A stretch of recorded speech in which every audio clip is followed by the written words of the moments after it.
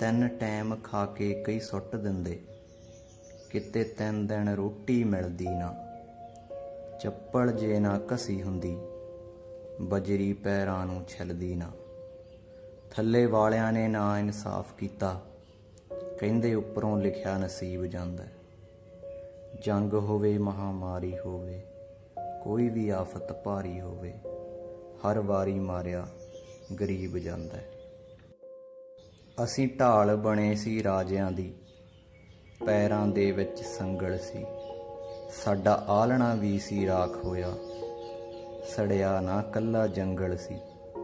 ਫਿਰ ਵੰਡ ਕੇ ਜਾਤਾਂ ਪਾਤਾਂ 'ਚ, ਸ਼ੂਦਰ ਦੇ ਕੌਣ ਕਰੀਬ ਜਾਂਦਾ ਜੰਗ ਹੋਵੇ, ਮਹਾਮਾਰੀ ਹੋਵੇ, ਕੋਈ ਵੀ ਆਫਤ ਭਾਰੀ ਹੋਵੇ, ਹਰ ਵਾਰੀ ਮਾਰਿਆ ਗਰੀਬ ਜਾਂਦਾ ਮਾਰ ਪਈ ਜਦ ਸੋਕੇ ਦੀ, ਦਾਣਿਆਂ ਦੀ ਹੋ ਥੋੜ ਗਈ।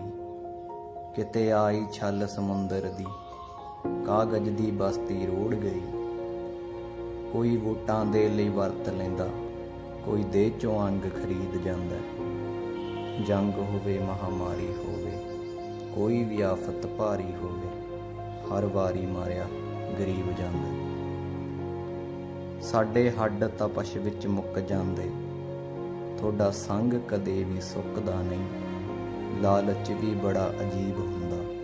ਨਬਜ਼ ਰੁਕਣ ਤੱਕ ਮੁੱਕਦਾ ਨਹੀਂ। ਇਨਸਾਨੀਅਤ ਜਿਉਂਦੀ ਰਹਿੰਦੀ ਹੈ। ਇਨਸਾਨ ਤਾਂ ਇੱਕ ਦਿਨ ਬੀਤ ਜਾਂਦਾ ਹੈ। ਜੰਗ ਹੋਵੇ, ਮਹਾਮਾਰੀ ਹੋਵੇ, ਕੋਈ ਵੀ ਆਫਤ ਭਾਰੀ ਹੋਵੇ, ਹਰ ਵਾਰੀ ਮਾਰਿਆ ਗਰੀਬ ਜਾਂਦਾ ਹਰ ਵਾਰੀ ਮਾਰਿਆ